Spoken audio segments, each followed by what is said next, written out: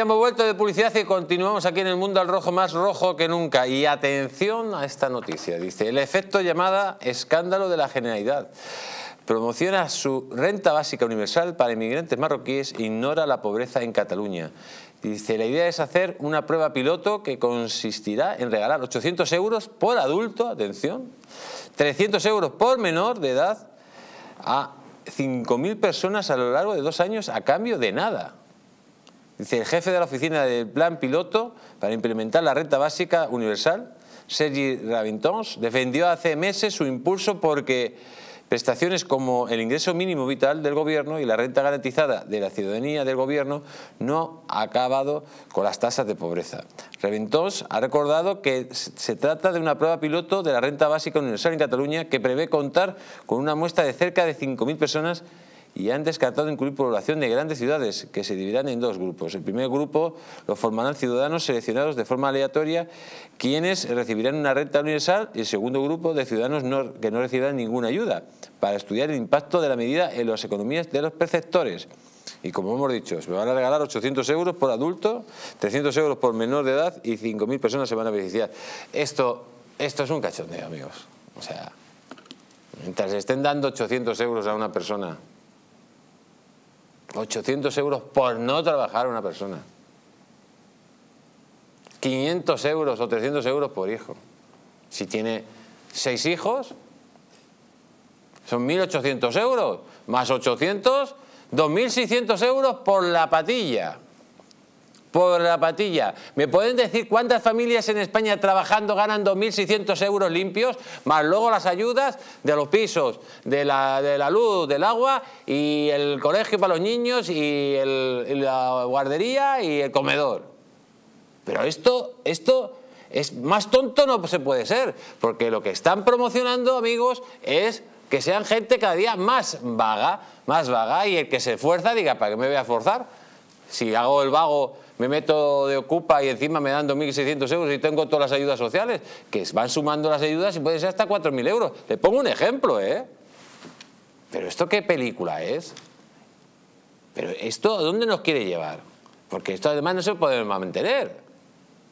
Tenemos al otro lado de Sky a don Fernando Sancho. Buenas noches, don Fernando, ¿cómo está usted? Hola, buenas noches, don Jesús Ángel, ¿qué tal? Bueno, antes de que me responda a esto, le voy a hacer una pregunta. Dígame sí o no. ¿Usted cree que se cocinó el cocido? ¿En un puchero grande? A ver, yo he estado escuchando y, evidentemente las regularidades tienen que estar ahí porque, porque no se han seguido las indicaciones de la Junta Electoral Central y además es que no ha podido imponerlas. O sea, es que eso también es, claro, si tú das unas indicaciones y luego no tienes a nadie que pueda verificarlo y que pueda imponer, es decir, una red de lo que sea, ¿no? Llámales como quiera, pero alguien que diga, oiga, este no es el procedimiento que, se marca en cada junta electoral provincial, en cada eh, pues tener ahí una presencia de alguien que lo pueda hacer. Pero vamos, mira, eh, Jesús Ángel, yo creo que el problema fundamental es el voto por correo. Es decir, eh, ha habido millones de votos por correo que ha estado días en un almacén casi con una custodia tercermundista.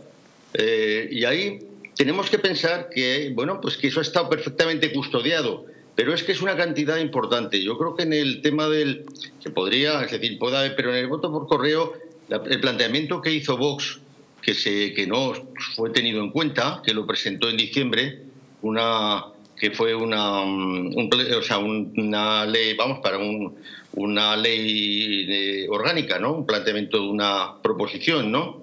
De ley, de ley orgánica en la cual pues que el voto por correo se contase por separado, es decir, que no se mezclase con el voto presencial.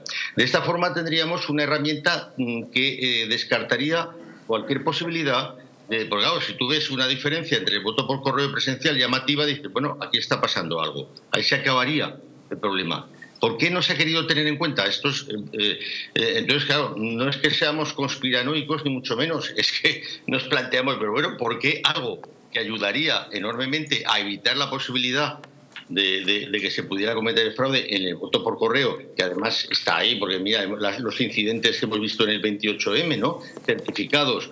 Por lo tanto, tenemos que creer que ha estado perfectamente custodiado en esos almacenes de Mercamadrid. Yo creo que ese tema, que no era lo que se estaba tratando esta noche, sino que era también otro asunto grave, creo que ese tema ahí eh, mm, porque es que, claro, ahora el voto por correo ya no lo puedes recontar. Es decir, eso está ya, se ha mezclado en las urnas con el voto presencial, ¿no? Eso, bueno, yo creo que es, es ahí tenemos que, considerar que nadie, eh, bueno, pues ha querido... Eh, nadie quiere, señor Fernando Sánchez, nadie, nadie quiere dar la cara, ningún partido quiere dar la cara bueno, de momento yo creo que un apoderado, de Boxemburgo lo ha planteado. El, único, el único y, bueno, que siempre hay un valiente entre los cobardes. Vox que pidió el escrutinio general expresamente, porque es algo que se tiene que hacer por sí, pero ¿para qué pide el escrutinio general si luego sus apoderados eh, permiten que no se haga? Menos uno. Cuando una vez esté todo, digamos, concluso y finiquitado y tenga las consecuencias o las conclusiones. No, no, ya está, el escrutinio ya está finiquitado. Pero tendrá que analizar lo que ha ido pasando, las incidencias que ha habido en un sitio o en otro para, para hacer una evaluación, entiendo yo. Eh, no, pero lo que lo está haciendo no es ningún partido político, lo está haciendo un señor a título particular y una serie de asociaciones, la sociedad civil a título particular, porque los partidos ni están ni se les esperan. Lo sigo también en sus comentarios, está haciendo en su perfil de Twitter, pero realmente eh, es que lo ha dicho claramente el señor Araujo. Es que los apoderados de los partidos realmente no tienen ni idea de cómo es el procedimiento ni cómo es el proceso. Llegaba y les parecía normal pues que, se estuviera manipulando de una forma muy distinta de cómo marca las pautas de la Junta Electoral Central eh, para proceder al conteo de muchas juntas provinciales que por la enumeración que ha hecho antes el señor Araujo han sido muchas. Vamos, vamos al tema que le, que le traigo hoy aquí. ¿Qué opina usted de estos ingresos mínimos que le puedan dar 600, 800 euros a una persona, 300 euros por hijo, una moto y un coche y decimos unas vacaciones en, en Ibiza? Eh, ¿esto, ¿Esto a dónde nos lleva, don Fernando? No, algo es imposible de, de, asumir, porque eso se puede decir. Es un plan piloto, ¿no? Dicen, un plan piloto que se ha, presentado además en Rabat. Eso es una gran irresponsabilidad, porque además todo este efecto que ha hecho esa pseudoembajada, ¿no? Esta presentación que ha tenido lugar en la universidad, me parece, de, Rabat y que, mm, y que bueno que es una llamada, es un efecto llamada tremendo. Además es que el problema es que luego es un efecto multiplicador, porque todos eh, eh, los bueno pues todos los que se mueven en redes sociales en Marruecos lo, lo, difunden. O sea el efecto de difusión es enorme el que tiene allí en el que tiene allí en Marruecos. Es un efecto multiplicador y una absoluta irresponsabilidad, porque posiblemente claro mucha gente que piensa que eso está que, no es un plan piloto, que eso está hecho o que va a ser beneficiario de unas ayudas, luego a lo mejor no lo es. Y una vez está aquí, luego qué pasa, cómo vive, cómo se busca la vida y cómo tiene. Eso es independiente de que, aparte de que pueda ser un agravio, cuántos pensionistas que han trabajado pues toda su vida para tener una pensión tienen una pensión más baja de esos 800 euros, ¿verdad? Y, y, han tenido toda una vida de trabajo, de sacrificio y de esfuerzo. Quiero decir que independientemente, independientemente de eso, aparte es insostenible. Es decir, tú eso no lo vas a poder sostener en el tiempo. ¿Y por, y por cuánta gente? ¿Y a cuánta gente que lo pide luego va a haber una...? pero sobre todo lo que es es una irresponsabilidad. Un efecto llamada de algo que puedes mm, incrementar todavía más el que haya pues, presencia de mucha gente creyendo que eh, va a tener allí eh, o que va a ser beneficiario de unas ayudas que luego posiblemente no le van a llegar y mientras tanto ya está aquí, ¿qué hace? Bueno, es un, la verdad es que la verdad es que me parece un, auténtico disparate, pero además, como digo, absolutamente insostenible, ¿no?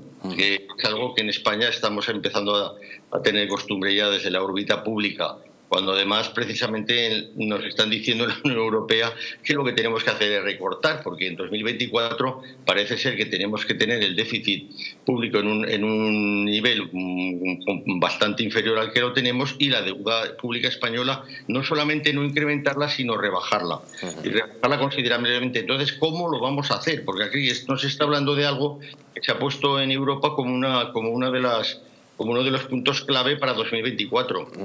De acuerdo. Pues la verdad que tiene usted toda, toda la razón. Eh, don Fernando Sancho, como siempre, un fuerte abrazo, cuídese mucho. Igualmente, gracias. Y amigos, la verdad que nos quedan cuatro minutos y yo tengo que leerles esta noticia porque dice una bronca entre el rey Felipe y las infantas acaba en escándalo en Palma. A ver si lo ponen ahí en, pantalla. Dice, nuevo pulso familiar y nueva victoria para el rey, aseguran las mismas fuentes. Fue la publicación de esa información la que iban a ir de vacaciones las infantas Elena y Cristiana, y sobre todo los hijos eh, de Marichalar y Dulgarín, iban a ir a Mallorca y al parecer todo se ha cancelado.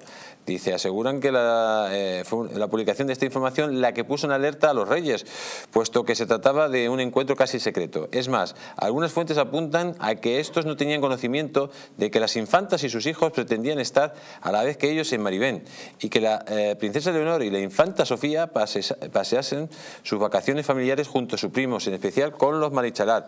Era algo incómodo. El resultado de todo esto es cancelación acelerada de las vacaciones en común para disgusto sobre todo de la reina Sofía. Atención amigos, que las hermanas del rey iban a pasar unos días pues en familia con el rey y sus hijas y todo habla de que la mujer, la señora doña Leticia, pues dijo que allí sus hermanas no pasaban vacaciones porque sus hijas no iban a pasar, no iban a estar de vacaciones con sus primos en Mallorca. Se ha cancelado todo de golpe y ha sido un auténtico escándalo. Bueno, hemos tenido una bronca familiar, ¿no? Se denomina así, ¿no? Bronca familiar, ¿no? Entre, entre doña Leticia seguramente y el resto de la familia real. Bueno, eh, estas cosas ocurren. Eh, lo raro es que haya trascendido ¿no? y que lo sepamos nosotros. Eh, el, hecho, el hecho en sí mismo no representa nada más que la división que existe dentro de la, de la propia familia real. ¿no?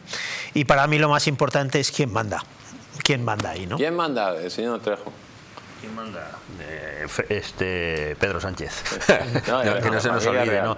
En la familia real, pues yo creo que el gran cáncer que tiene la familia real es la, la, mujer de su majestad el rey Felipe VI, la señora Ortiz Rocasolano yo creo que es el gran cáncer, es la gran responsable de los grandes desplantes que se le está haciendo y que el propio hijo le está haciendo a su padre, su majestad del rey don Juan Carlos I y a la familia real. Es la que la, que lleva la, que lleva la que lleva a la ruptura de, toda la familia real, ¿no?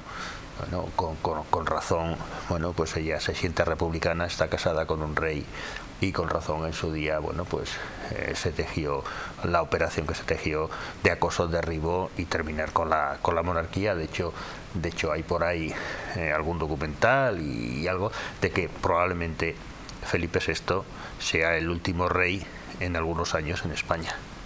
Entonces, bueno, yo creo que mientras no se termine con el verdadero cáncer, que desde mi punto de vista eh, porque esto es hecho público, o sea, una eh, pelea con las hermanas que tienen que cancelar las vacaciones, porque no quieren que se junten con los primos, esto ya es el colmo. La pregunta, la pregunta sería la siguiente, ¿y la prima que tiene por el lado materno, dónde está? ¿Y la madre, la madre de la mujer de su majestad el rey, ¿eh? dónde está?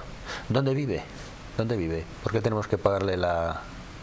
¿Por qué tenemos que pagarle una casa en el Pardo?